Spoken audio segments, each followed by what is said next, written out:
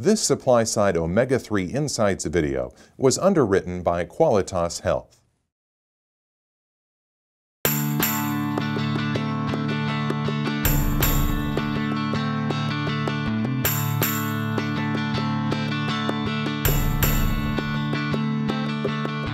The omega 3 market has been growing rapidly over the past several years. Packaged Facts data places global sales of omega 3 dietary supplements at $3.2 billion. Part of this sales growth has been fueled by positive research emphasizing the health benefits of omega 3s. Unfortunately, getting to the right intake levels can be challenging, with a majority of consumers falling short of even the 250 milligrams per day recommended by the World Health Organization. Further, with a burgeoning global population, supplying that level of omega 3s strictly from the oceans is untenable. Research from GOED, the global organization for EPA and DHA omega 3s, suggests it would take 650,000 tons to meet today's annual global intake needs, but the ocean's capacity is only 530,000 tons. This has driven suppliers to explore new technologies and production options to develop more sustainable ingredients and ensure the quality of their offerings via supply chain integration. Whether marine or plant based, these new ingredients also bring a unique value proposition to the table. Hi, I'm Heather Granado with SupplySide Omega 3 Insights, and we've traveled to windy western Texas, where we're taking a look at sustainable production of long chain omega 3s. Sustainability is a big topic within the omega 3 market. Some researchers are looking up the food chain to the way fish get their omega 3s via algae. Microalgae have been cultivated for years for specialty industrial applications such as aquaculture and biofuel. In 2008, the founder of Qualitas Health, Isaac Berzin, was recognized by Time magazine for his work around algae and biotechnology including algal cultivation for biofuels and algae projects for NASA. He recalls learning that 50% of the oxygen in the atmosphere comes from algae, which are playing a major role in the carbon cycle. Once I realized that, I really made a big change in my life and decided to grow algae using CO2 as a major food and create biofuels out of them and other valuable uh, products. So that kind of triggered me into looking closely into this world of algae. There are thousands of microalgae types found in water systems from oceans to rivers and streams. In exploring algae for the biofuel industry, Berzin started looking at a saltwater algae strain, Nannochloropsis oculata. Berzin and the team spent the better part of a decade looking at Nannochloropsis, intrigued by its content of unopposed eicosapentaenoic acid, or EPA, as well as the polar lipid structure of the omega 3. EPA, though, is definitely indicated for adult health, for cardiac health, um, as well as for um, mood and mental health benefits. The team worked to optimize the biology of the Nannochloropsis strain to enhance its ability to produce high content omega 3 EPA and deliver optimal yields in a variety of climates and conditions.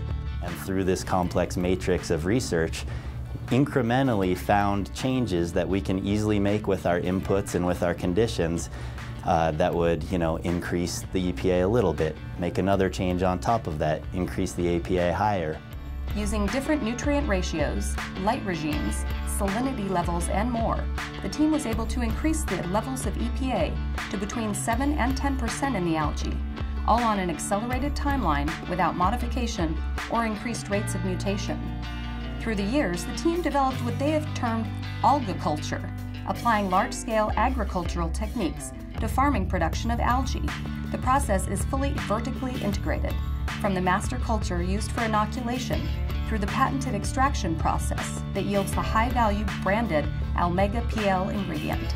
The process starts in the growth room, where beakers are inoculated with master culture. Over a 7 to 10 day period, the algae will receive nutrients, carbon dioxide, and light exposure, allowing them to hit peak density. At that point, the culture is transferred into flat panels with a CO2 bubbling system and a smaller light path, allowing more light to hit the medium. After another 7 to 10 days, the culture will hit a new peak density and make its first move out of a fully controlled environment into the inoculation pond system.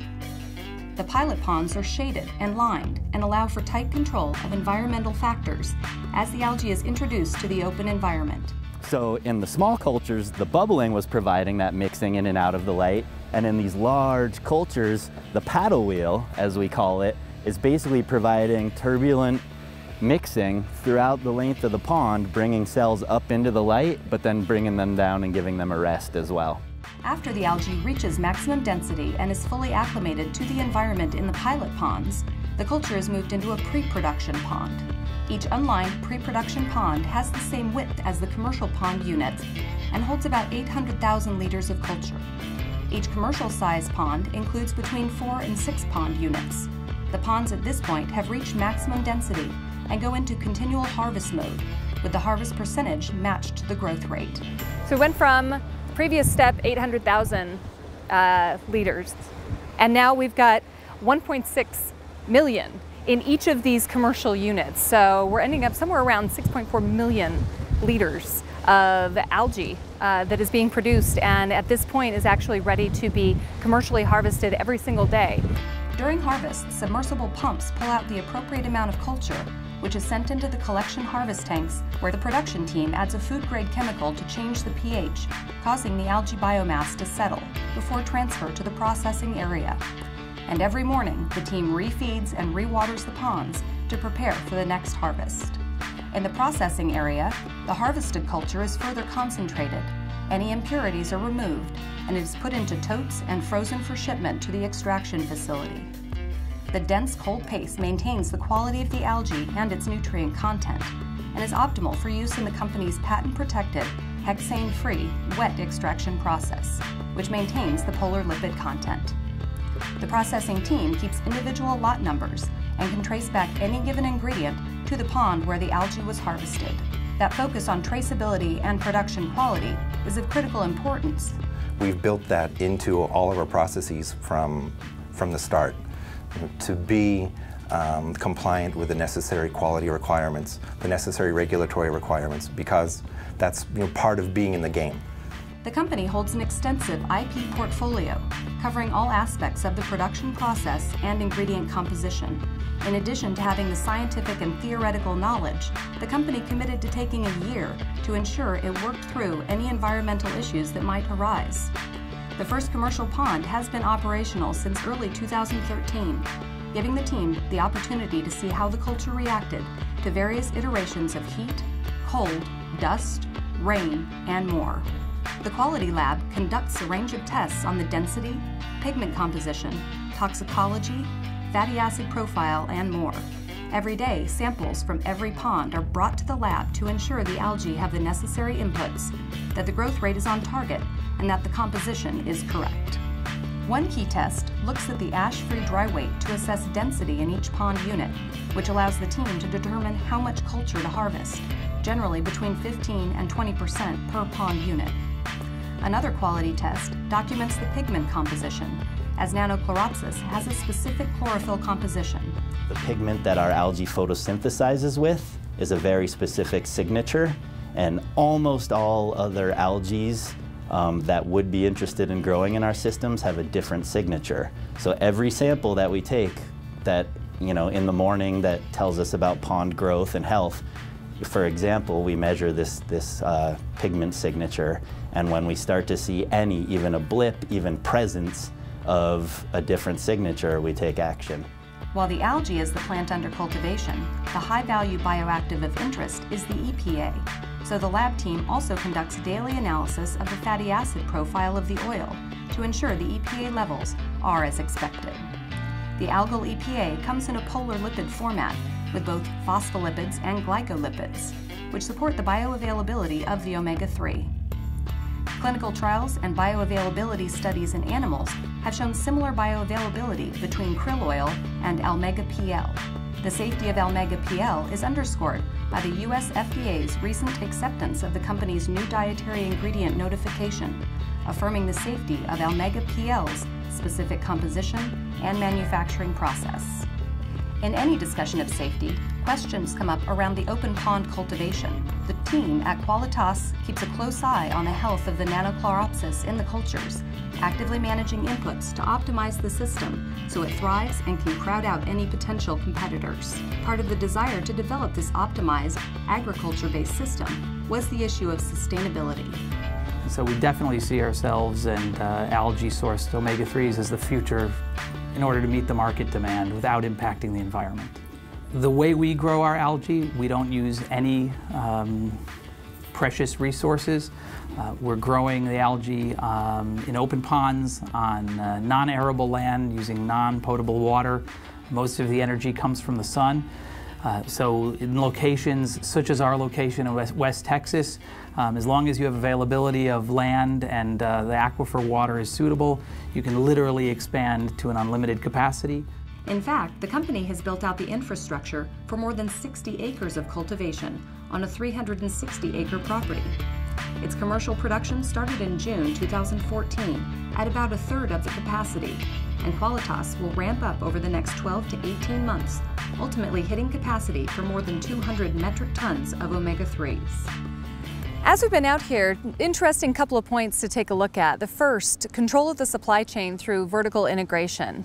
Obviously, uh, investment over many years in optimizing this particular alga, the Nannochloropsis, You've seen it from the nursery into the inoculation ponds, into commercial development, and what will be leveraged into 60 acres of commercial development.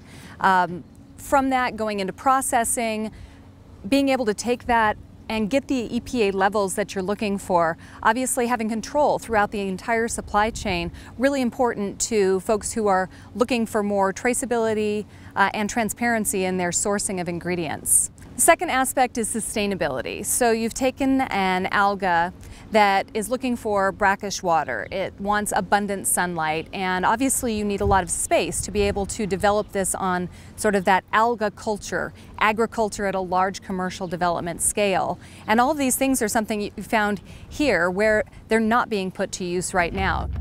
Omega-3s have many benefits, but the development of new sources, while remaining mindful of environmental and sustainability considerations, is important to global health and market longevity.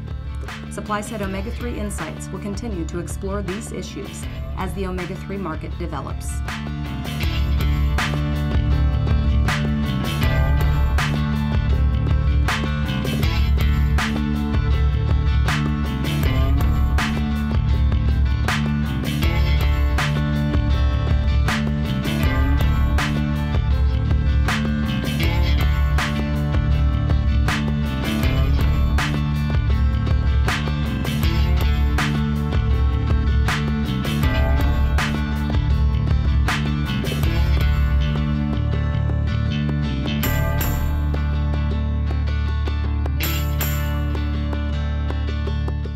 This SupplySide Omega 3 Insights video was underwritten by Qualitas Health.